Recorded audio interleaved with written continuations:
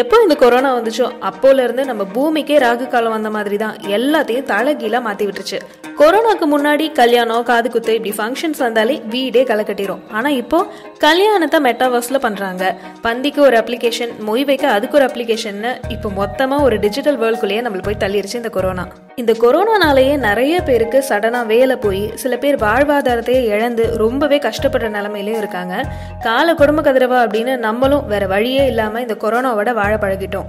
எவ்வளோ அடித்தாலும் தாங்குறான்டா அப்படின்னு இந்த கொரோனாவும் நம்மளை விடாமல் ஏதோ ஒரு சைட் டார்ச்சர் பண்ணிகிட்டே தான் இருக்குது இதில் மொபைல் ஃபோன் ஓஎஸ் அப்டேட் மாதிரி வருஷத்துக்கு ஒரு கொரோனா வருஷன்னு புதுசு புதுசாக கிளம்பி வந்துக்கிட்டே தான் இருக்குது கொரோனாவோட ஸ்டார்டிங்ல வந்த பாதிப்புல இருந்தே இன்னமும் பல பேர் மீண்டு வரல. ஆனா டிவியில வர விளம்பரம் மாதிரி கொரோனாவால வர பிரச்சனை மட்டுமே கொஞ்சம் கூட கேப்பே இல்லாம புதுசு புதுசா வந்துகிட்டே தான் இருக்கு. அதே கொரோனா தான் பத்து பஸ் கிலோ வெறும் நாற்பத்தஞ்சு ரூபாய் அப்படின்னு ஒருத்தர் விற்கிற அளவுக்கு ஒரு தொழிலதிபரை இவ்வளோ மோசமான நிலைமைக்கு கொண்டு போய் விட்டுருக்கு.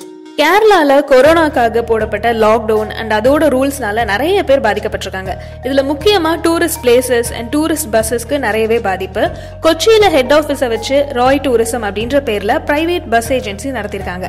இதோட ஓனர் பேர் தான் ராய்ஸ் அண்ட் ஜோசப் இவருக்கு மொத்தமா இருபது டூரிஸ்ட் பஸ் ஓடிட்டு இருந்திருக்கு ஆனா கொரோனா லாக்டவுன் ரூல்ஸ்னால ரொம்ப பாதிக்கப்பட்ட ராய்சன் ஜோசப் இருபது பஸ்ல பத்து பஸ்ஸை குறைஞ்ச விலைக்கு வித்திருக்காரு. ஆனாலும் அதெல்லாம் வித்து வந்த பணத்துலையும் பேங்க்ல வாங்கின கடனை இவரால கட்ட முடியல. பத்து பஸ் வித்தாச்சு. மிச்சம் பத்து பஸ் இருக்குல்ல ஸோ இது ஏதாவது பண்ணலாம் அப்படின்னு யோசிச்சவர் மிச்சம் இருக்க அந்த பத்து பஸ்ஸையும் வித்தாவது லோனை அடைச்சிடலாம் அப்படின்னு நினைச்சிருக்காரு. ஸோ நிறைய பேர்கிட்ட விற்கிறதுக்கு இவர் கேட்டிருக்காரு. ஆனாலும் யாரும் அந்த பஸ் எல்லாம் வாங்குறதுக்கு முன் வரல. இதுக்கு மேல என்ன பண்றது அப்படின்னே தெரியாதவர் ரொம்பவே யோசிச்சிருக்காரு. வேற வழியே இல்லாம ஒரு விஷயம் பண்ணியிருக்காரு அவர்கிட்ட பத்து பஸ் இருக்கு. அண்ட் ஒவ்வொரு பஸ்ஸும் கிலோ நாற்பத்தஞ்சு ரூபாய்க்கு அதாவது பழைய இரும்பு விலைக்கு விற்க தயார் அப்படின்னு அவரோட ஃபேஸ்புக் அக்கௌண்ட்ல ஒரு போஸ்ட் போட்டிருக்காரு. இது பத்தி ராய்சன் ஜோசப் என்ன சொன்னார்னா கொரோனானால போடப்பட்ட லாக்டவுன் ரூல்ஸ் காரணமா கடந்த ஒன்றரை வருஷத்துல இருந்த இருபது பஸ்ல பத்து பஸ்ஸை விற்கிற நிலைமைக்கு தள்ளப்பட்டேன். ஆனா கடந்த வாரத்துலன்னு பார்த்தா நாலு நாள் மூணாருக்கு போறதுக்கு மூணு பஸ் மட்டும்தான் புக்கிங் ஆச்சு. வழக்கமா பிப்ரவரி மாசத்துல மூணாறு போற வழியில பயங்கரமா டிராஃபிக் இருக்கும். ஆனா இப்போ ரொம்பவே வெறிச்சோடி போயிருக்கு. பேங்க்ல வாங்கின கடன் அடைக்க ஆல்ரெடி பத்து பஸ்ஸை வித்துட்டேன்.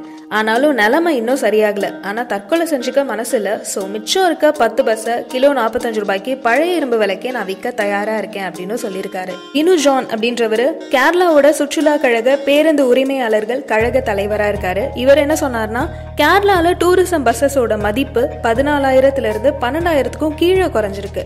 கடன் கொடுத்தவங்க கடனை திருப்பி கொடுக்காத பஸ் ஓனர்ஸ் கிட்ட இருந்து பஸ்ஸை திரும்பி வாங்கிட்டு போறாங்க. கடந்த ரெண்டு மாசத்துல மட்டும் சுமார் ஆயிரம் பஸ்ஸை பேங்க் இல்லைன்னா கடன் கொடுத்தவங்களால ஜப்தி செய்யப்பட்டிருக்கு அப்படின்னு சொல்லியிருக்காரு.